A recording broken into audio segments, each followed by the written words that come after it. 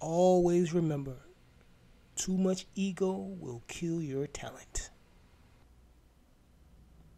This message has been brought to you by Alan Brands and ahigh101.com.